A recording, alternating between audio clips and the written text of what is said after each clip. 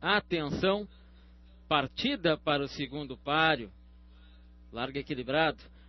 Vai tomando a primeira colocação o High Five número 3, um corpo de vantagem para Big Ícaro e Type Tiger brigando pela segunda posição. Estão na seta do quilômetro, forçou mais por fora o Type Tiger e assumiu a primeira colocação, deixando em segundo o High Five. Em terceiro vai o Big Ícaro, número 4, quarta posição para Cabo Blanco, número 5.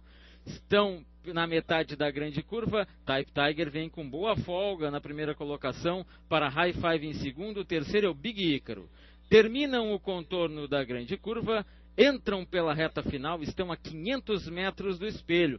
Vem muito quieto na frente o Type Tiger com a joqueta Lu Andrade Ainda não se mexeu, vem com corpo 2 de vantagem. Lá por dentro, Cabo Blanco tenta evoluir. Aqui por fora evolui Gangster. Junto com ele vem o High Five. Estão nos 200 finais, forçando muito por dentro Cabo Blanco. Ainda se defende o Type Tiger e avança muito pelo centro da pista Gangster. Indefinida a primeira colocação a 100 metros do espelho, forçando o Gangster por fora e assumindo a primeira posição, deixando o Cabo Blanco em segundo. Da retaguarda melhora Bom Hogan e passa para terceiro, cruza o disco final.